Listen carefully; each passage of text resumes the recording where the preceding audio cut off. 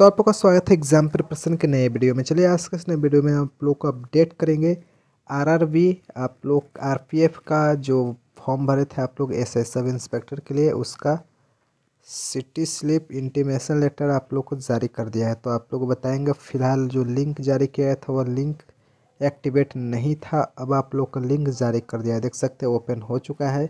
आप लोग को इसमें क्या करना होगा? आपको इसमें अपना रजिस्ट्रेशन नंबर डालना होगा। जो भी आपका रजिस्ट्रेशन नंबर होगा, इस प्रकार से आप लोग फिल कर लेंगे, ठीक है? ये आप लोग का रजिस्ट्रेशन नंबर होगा आरपीएफ का। यहाँ पे डाल लेंगे। आपको मैसेज भी आया होगा मेल पर मैसेज आया होगा। यहाँ पे आपको सिंपल क्या करना होगा? आपको अपना डेट ऑफ़ बर्थ डाल लेना होगा। जो भी आपका डेट ऑफ़ बर्थ होगा सिंपल यहाँ पर मान लिया कि इतना डेट ऑफ़ बर्थ है, आप लोग यहाँ पे फिल करेंगे, ठीक है?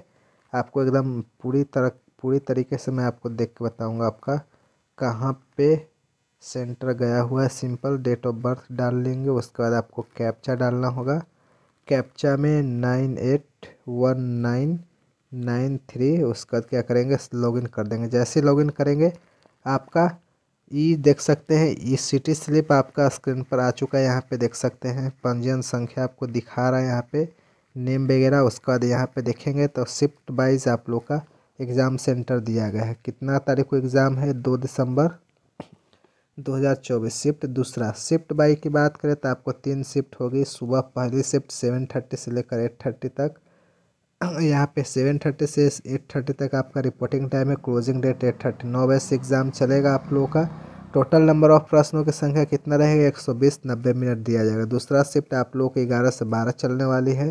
जो साढ़े बारह बजे तक आप लोग का कंप्लीट हो जाएगा, ठीक है? परीक्षा प्रारंभ होने का समय साढ़े बारह और उसका नब्बे मिनट दिया जाएगा, ठीक है? इस प्रकार से और एडमिट कार्ड आप लोग एग्ज़ाम के चार दिन पहले आपको जारी कर दिया जाएगा। तो चलिए आई होप आप लोग अपना इंटीमेशन लेटर चेक कीजिए। अगर आप लोग को यह जानकारी अच्छी लगे तो वीडियो को लाइक और शेयर ज़रूर कीजिएगा। चैनल पर नए होंगे तो चैनल को सब्सक्राइब करके बेल आइकन कॉल पर प्रेस करें ताकि जब हमें आप लोग इस तरह के वीडियो अपडेट करें तो वीडियो का नोटिफिकेशन आप लोगों तक सबसे पहले पहुँचे।